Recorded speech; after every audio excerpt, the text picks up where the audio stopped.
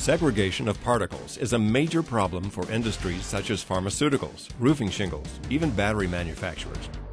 In Lecture 5, Particle Segregation, Segregation Mechanisms, and Solutions to Common Problems, Joe Marinelli of Solids Handling Technologies examines the mechanisms that cause segregation, or separation of particles, and discusses some solutions to common segregation problems.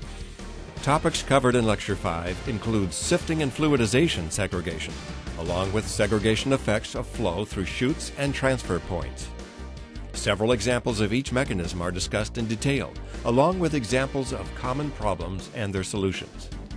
Joe describes sampling techniques and their effect on segregation, as well as several approaches to solving typical segregation problems, such as changing your process, changing your material, or changing your equipment to minimize the effects of segregation.